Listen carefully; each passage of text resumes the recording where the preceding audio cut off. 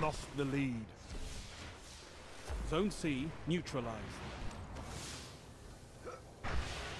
Zone B lost. Zone C captured. Enemy captured Zone B. The enemy almost won.